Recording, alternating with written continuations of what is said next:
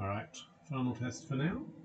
So this is windowed, this is VSync on, this is me ah, holding the mouse, trying not to move it to keep it going. Uh, and so um, we will see what the results bring. Again, just 200 tests this time, so uh, should be quite a bit quicker than the previous one. About 80 seconds. Had a bit of a failure of maths with the last one. I did notice eventually that the music was playing, um, so I've turned that off just so it's a bit more audible.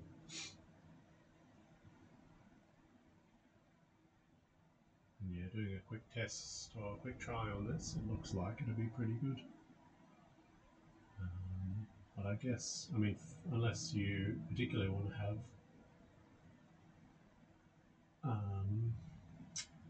oh, there's Capcom sitting in a window somewhere on your screen. I would have thought borderless window seems to be the way to go.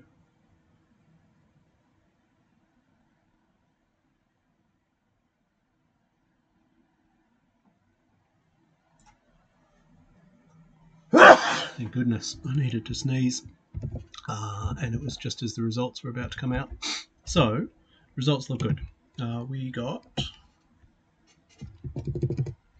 16 233, 17 285, 20 120, and 2805.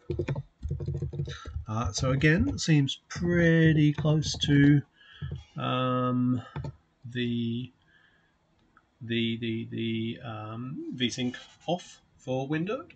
So I don't think VSync is having any particular change there.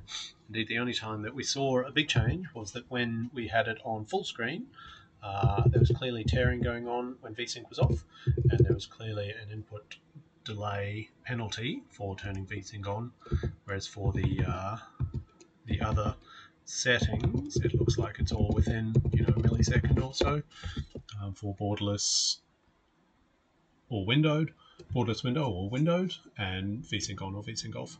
Anyway, I'll wrap it up here and uh, upload these and give it a break.